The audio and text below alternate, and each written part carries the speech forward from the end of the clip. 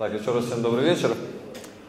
Сегодня мы с вами поговорим о космосе, об его исследованиях и, собственно, о том, чем это нам всем полезно здесь, на Земле. А, я думаю, многие из вас э, слышали о каких-то космических новостях, каких-то исследованиях, многие читают в интернете, там что-то произошло, что-то обнаружили, что-то исследовали. Ну, все это в большинстве случаев пропускают мимо ушей, потому что ну, никто не, особо не понимает, не разбирается, зачем это нужно, кому это интересно и вообще. А сегодня я постараюсь вам довести и рассказать о том, чем конкретно нам, каждому из нас на Земле, нужны эти исследования, зачем это происходит и вообще все. Поехали. Итак, э, для чего нужны космические аппараты и какие они бывают? Это э, автоматические межпланетные станции, которые нужны для исследования различных тел Солнечной системы. Но в другие мы пока не проникли. Может, слава Богу. Э, также для исследования космического пространства, для исследования излучения частиц и всего прочего за пределами нашей Земли и нашей орбиты. То есть э, сюда входят и всякие зонды исследовательские, и разные летательные аппараты, которые занимаются дальними полетами э, в дальние уголки нашей Солнечной системы. Э, здесь вы видите аппарат Voyager 1, который в данный момент находится уже около 23 миллиарда, километров, 23 миллиарда километров от Земли. Это пока что наиболее отдаленный объект, созданный человеком от Земли. Он вышел уже э, в межзвездную среду, и сейчас ученые получают данные о том, что находится за пределами нашей Солнечной системы. Другой тип летательных аппаратов космических – это спутники, искусственные спутники Земли. Они нужны для различных целей. Э, это спутники дистанционного зондирования Земли. Э, об их задачах мы поговорим чуть позже. Это спутники связи, телевидение, это э, орбитальные космические телескопы, такие как Хаббл. Многие из вас видели его снимки. В общем-то, почти все снимки, сделанные, э, снимки космоса и различных туманностей, сделанные в высоком разрешении, это заслуга Хаббла. Э, дальше это пилотируемые орбитальные станции. Они нужны для того, чтобы экипаж на них жил долгое время, выполнял какие-то функции, похожие с теми, которые они выполняют на Земле, э, но там немного другие условия, и поэтому экипажу нужно, нужно обеспечить жизнедеятельность в этих тяжелых условиях. Для этого созданы такие станции. На данный момент одна только из них функционирует, это Международная космическая станция. Далее это пилотируемые космические корабли, которые нужны для доставки грузов и экипажев на данные станции, на орбиту Земли, э, к другим местам Солнечной системы для выполнения определенных задач. То есть на, на их борту находится человек или несколько и э, планетоходы. То есть это аппараты, которые высаживаются на различные тела, производят непосредственное исследование э, грунта, атмосферы, газов и так далее, минерального состава. То есть ученые могут с помощью них узнать как э, геологическую историю данного объекта, какие на нем условия существования, может ли там потенциально человек поселиться и так далее. И спускаемые аппараты нужны для того, чтобы безопасно доставить э, грузы, либо тот же экипаж обратно на Землю, для того, чтобы они выдержали высокие температуры при прохождении плотных слоев атмосферы и не сгорели. Собственно, для того, чтобы все эти аппараты доставить в космос, нужны ракеты-носители, которые также являются чрезвычайно сложными технически аппаратами, и они э, нужны для того, чтобы вывести на орбиту, либо за ее пределы э, различные космические аппараты. Э, здесь вы видите на этом графике бюджет НАСА за всю ее историю существования. На данный момент за 2017 год выделено средства на исследование НАСА было в абсолютном эквиваленте это 19,5 миллиардов долларов за 2017 год, и это всего лишь составило менее чем полпроцента бюджета США за 2017 год. К примеру, э, пик приходился, пик э, финансирования НАСА приходился на программу Аполлон, когда тратились колоссальные средства в космической гонке для того, чтобы США высадилась на Луну и провело свои исследования там. Э, к чему я это показываю? Для того, чтобы вы поняли, какие средства выделяются на космическую отрасль И, собственно, из-за чего я выбрал эту тему, потому что многие люди, особенно в США, то есть налогоплательщики там интересуются, куда идут их средства.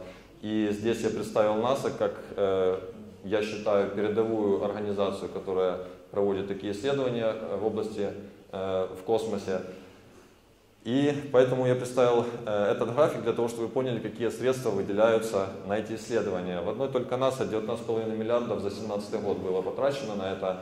Э, для сравнения, бюджет Украины составил за 2017 год 26 миллиардов долларов. Ну, то есть э, нам такой объем пока что не по плечу. Собственно, Задача, опять же, этих спутников, я уже вкратце рассказал, дистанционное зондирование Земли. Это те аппараты, которые наиболее актуальны людям на Земле. Э, то есть нам с вами это наиболее помогает. Э, то, что нам нужно каждый день, это прогнозы погоды. Без этих спутников, которые висят на орбите, мы бы не смогли получать с вами точные прогнозы погоды на длительный период без инфракрасных снимков, которые делаются э, каждый день с орбиты, то есть мы, э, ученые и метеорологи не смогли бы предсказывать, как поведут себя циклоны, антициклоны и барические системы. Далее это океанография, то есть предсказывается, где будут э, какие там различные изменения в океане, таяние ледников и глобальные изменения в климате. Также это геодезия, картография, сельское хозяйство, связь, интернет, э, спутниковое телевидение тоже многие из нас пользуются и прочие задачи. Э, значит, станции межпланетные, как мы уже говорили, это одни из наиболее сложных технически летательных аппаратов, потому что они имеют на борту свои инструменты, которые строятся впервые, потому что они нужны для, для исследования тех глубин космоса, куда еще ни разу не проникала человеческая э, аппарата, созданная человеком и вообще человек. Поэтому это один из наиболее сложных аппаратов. Здесь вы видите фото планеты Нептун, э, сделанную аппаратом New Horizons, запущенным НАСА. Собственно, до него этого, такого четкого фото не было, и смутно люди представляли, как она выглядит в реальности. Ну, орбитальная станция, как я уже говорил, для жизни экипажа, проведения экспериментов, тех, которые нельзя провести здесь на Земле. Например, микрогравитация, либо невесомость ее по-другому называют, она позволяет исследовать людям, как э, сможет функционировать человек как сможет функционировать другие биологические существа э, в этой среде на протяжении длительного периода. Одной из актуальных глобальных задач в этой области является, сможет ли родиться человек в невесомости, например, при полетах к другим звездам. Потому что в этом году НАСА уже заложила в свой бюджет разработку э, двигателя для межзвездных перелетов. Ну, сейчас они только разрабатывают физическое, физическое обоснование и концепт этого двигателя. Собственно, э, к чему мы пришли? К тому, что э, нужно понять, как конкретно нам, каждому из нас, эти технологии помогают в повседневной жизни. Мы э, используем различное множество техники, бытовой в том числе, различное множество девайсов каждый день и информации. И многие из нас даже не подозревают то, что эти устройства или те или иные предметы были созданы благодаря исследованиям в области космоса. И поэтому я вам хочу рассказать вкратце о них. Э, как предисловие хочу сказать, что конкретно я буду говорить о разработках НАСА, опять же, как одной, одной из наиболее старых и передовых организаций в этой области. И э, хочу сказать, что каждый год они выпускают бюллетень о том, какие технологии были переданы коммерческим организациям для внедрения их в повседневную жизнь. Их на самом деле тысячи, я расскажу вам всего лишь об 11, которые каждый из вас встречал в жизни и узнает их. Итак, э, здесь вы видите станцию Skylab американскую, запущенную в 70-х годах для жизни экипажа и первых исследованиях э, в области работы экипажа в невесомости на протяжении длительного периода. Э, значит, когда началась космическая эра, стало очень много технических задач и вопросов. Одной из них было, как защитить экипаж от пожара на орбите. То есть э, на орбите в космосе при возникновении нештатной ситуации, при возгорании чего-либо на борту, нельзя просто выйти на улицу и подождать, пока приедет э, машина пожарника. Поэтому там это особо актуальный вопрос. И как раз для этой станции были разработаны датчики э, чувствительные для обнаружения пожара на этапе еще когда, он, когда материал тлеет для обнаружения различных газов и дымов. На данный момент эта технология приобрела использование в обычных штатных обнаружителях, э, датчиках дыма, которые спасли тысячи жизней и используются почти в каждом, в каждом нормальном помещении и в этом тоже, кстати. Далее идем.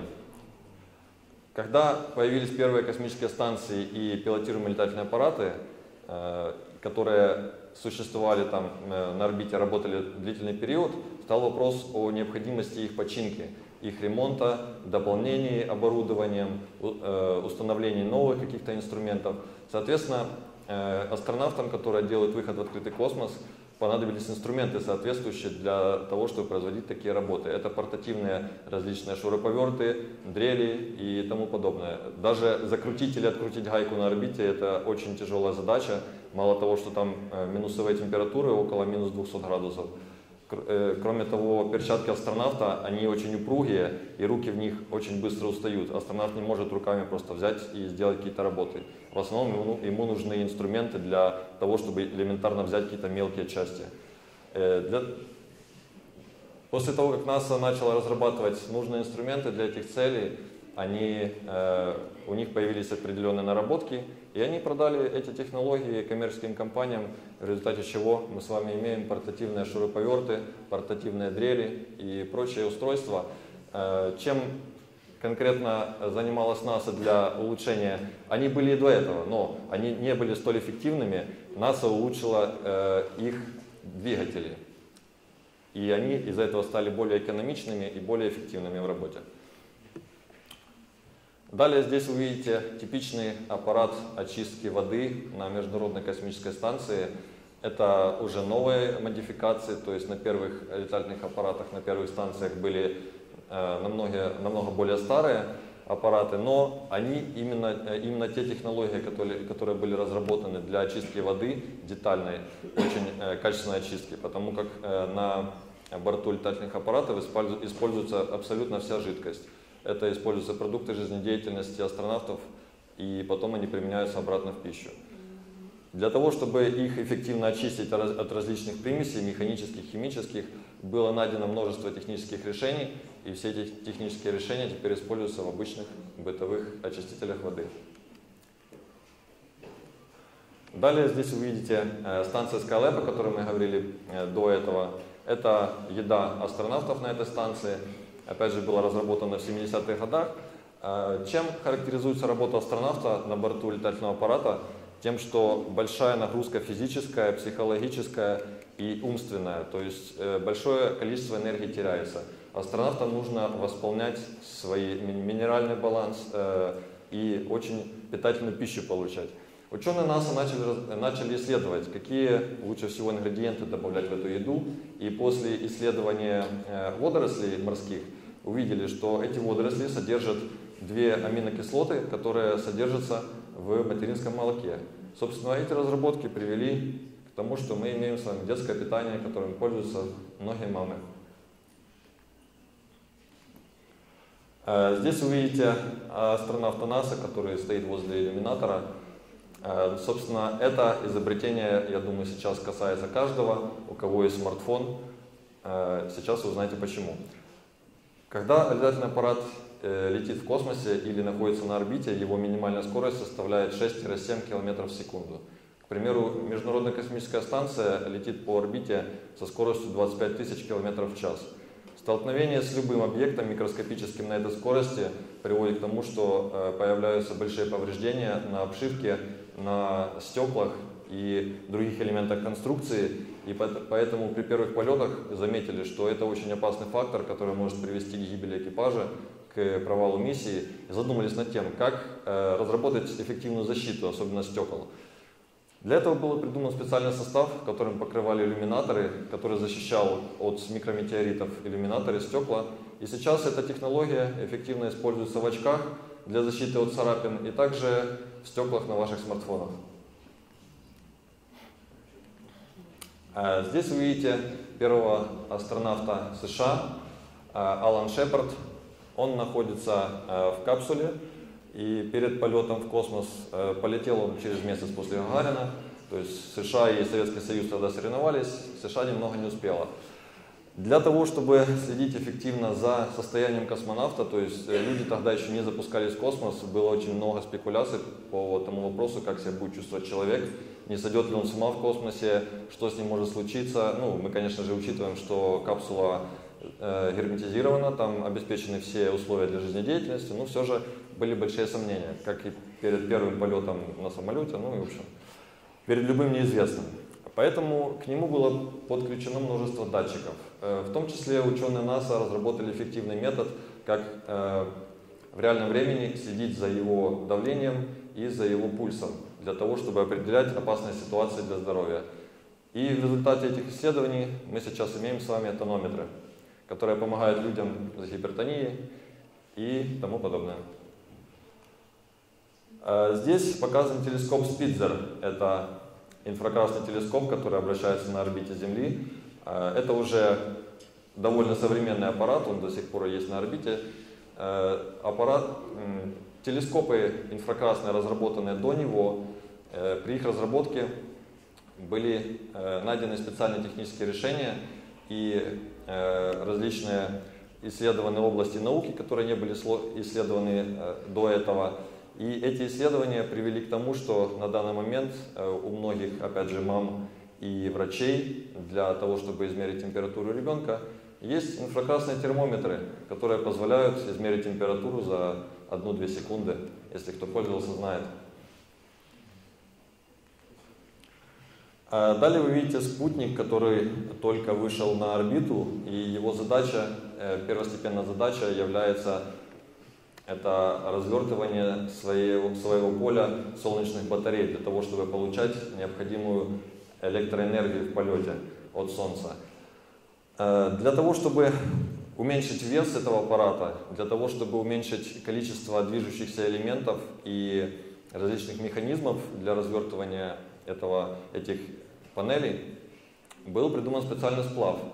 Это сплав э, никеля и титана, который имеет очень хорошую механическую память, и после того, как, э, допустим, пружина, либо пруд, если его сжали из этого материала, э, если его сжали, он запоминает свою изначальную форму, в которой он был создан, и при выводе аппарата на орбиту э, этот пруд или пружина просто освобождаются и развертывают эти солнечные панели без применения каких-либо дополнительных механизмов.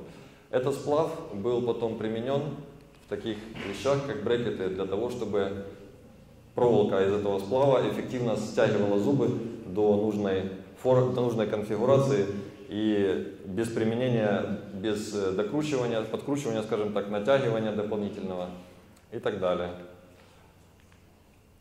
Здесь вы видите астронавтов НАСА, которые сидят э, в Space Shuttle. Я думаю, многие, многие о нем слышали и видели, что такое Space Shuttle. Э, вопрос в том, что при старте любого космического аппарата экипаж на борту его э, ощущает большую перегрузку в районе 5 единиц, э, то есть ваш вес тела увеличивается в 5 раз. Это огромная нагрузка на кости, на мышцы и на другие органы внутри вашего тела, поэтому для того, чтобы минимизировать эту нагрузку и абсорбировать часть, часть этой нагрузки, Кресла этих астронавтов были разработаны таким образом, что поглощали часть нагрузки во время э, взлета. Был разработан специальный материал, который эффективно поглощал, опять же, эту нагрузку и, сохранял потом свою изначальную форму. Этот материал в дальнейшем был продан коммерческим компаниям и теперь применяется в изготовлении э, подошв кроссовок, которые используются нами для бега, для ходьбы Э, значит, э, здесь фотография просто женщины-астронавта. В данном случае речь пойдет о первых полетах женщин в космос. Э, то есть просто полет в космос, он не подразумевает ничего такого сверхъестественного, когда женщина летит на небольшой период. Но когда стал вопрос о том, чтобы женщины выходили в открытый космос, то есть совершали деятельность за пределами летательного аппарата в скафандре, стал вопрос о том, как обеспечить их жизнедеятельность, а точнее э, отведение продуктов жизнедеятельности, потому что для мужчин скафандры были уже давно разработаны. А, собственно, сам выход в открытый космос может длиться 6 и 7 часов. То есть вы понимаете, что за это время будет определенная продукт жизнедеятельности. Был разработан материал, который мог поглощать, который может поглощать э, в 200 раз больше э, жидкости, чем весит сам. Эта дальнейшая технология была использована для улучшения таких вот вещей. А, и последнее, о чем я хочу вам сегодня рассказать. Здесь вы видите инерциальную навигационную систему аппарата Аполлон, который использовался для высадки астронавтов э, на Луну. Он весит несколько десятков килограмм, имеет большие габариты. Для чего используется э, этот элемент, э, этот агрегат? Он используется для измерения углов наклона аппарата, для измерения его перемещения в пространстве, и других эволюций для того, чтобы записывать его перемещение, измерять углов, э, угловую скорость и других целей. Э, как он помогает каждому из нас, допустим, для просмотра 3D-видео, для использования VR-технологий. Он, такой же агрегат стоит у каждого в смартфоне и занимает примерно вот столько места. Все это благодаря дальнейшим исследованиям ученых, и разработкам НАСА в этой области он был минимизирован до таких размеров и теперь умещается на нескольких миллиметрах. Э, в завершение хочу сказать, что исследование космоса и вообще космические технологии, их разработки, это не просто, э, не просто статья, куда можно слить бюджет, куда можно потратить огромную кучу денег и создать видимость работы. Э, в первую очередь это то, э, что позволяет людям чувствовать себя людьми. Почему? Потому что у человека в природе заложено исследование неизвестного. Если бы люди, э, которые жили в каменном веке, не исследовали то, что им было непонятно, не проводили какие-то, преодолевая свой страх, преодолевая неизвестность, не проводили какие-то вылазки там из пещеры, не смотрели, а что будет так, а что будет иначе, мы бы не дошли до того уровня, который у нас есть сейчас. Поэтому в первую очередь это э, та отрасль, которая двигает человечество вперед и все технологии на Земле. Потому что впервые э, большинство технологий разрабатывается именно для исследования космоса. И хочу сказать, что на самом деле э, Земля для нас на Земле, находясь на Земле, наша планета кажется нам очень большой и необъятной, но находясь в космосе, можно увидеть, что это просто песчинка, потерянная в бескрайнем пространстве. Здесь вы видите Землю, сфотографированную аппаратом Кассини с орбиты Сатурна. То есть даже в пределах нашей Солнечной системы она уже особо не отличается от других звезд на фоне, которые находятся очень далеко. Поэтому нам нужно нашу э, планету оберегать, проводить дальнейшие космические исследования. И я считаю, что э, космические технологии это то, что позволит человечеству в дальнейшем выжить как виду. Спасибо за внимание.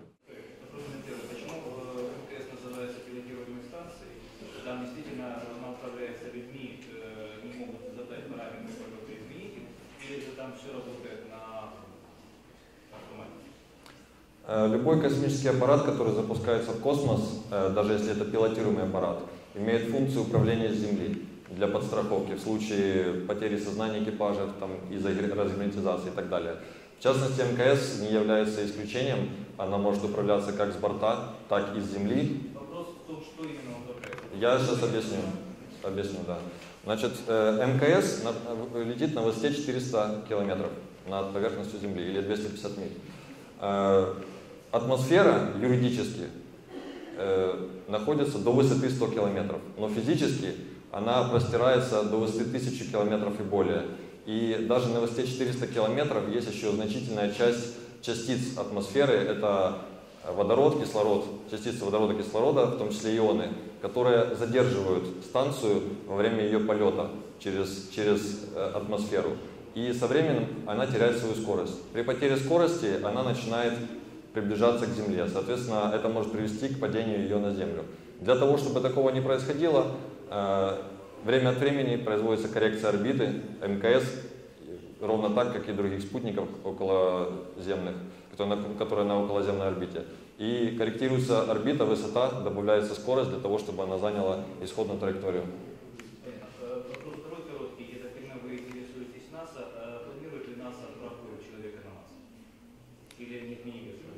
Планируют, и не только на Марс, на астероид в том числе.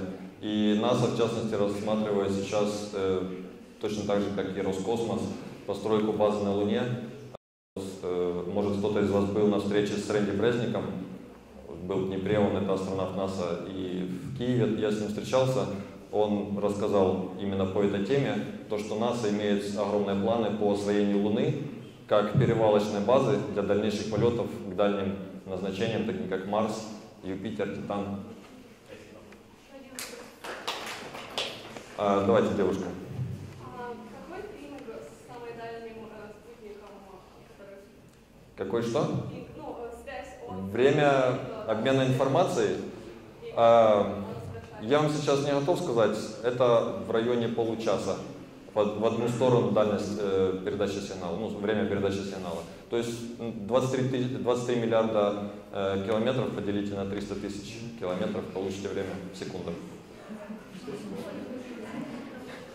А как, как э, информация не теряется так далеко? Как система используется для передачи информации? Э, Для этого на Земле используются очень э, приемники с э, очень высокой чувствительностью, то есть это параболические антенны, это целая система антенн на Земле, в частности в США, и они принимают этот сигнал. На летательном аппарате используется узконаправленная антенна, которая позволяет сфокусировать сигнал в нужном направлении, и она всегда направлена в сторону Земли. То есть это не все направленные антенны.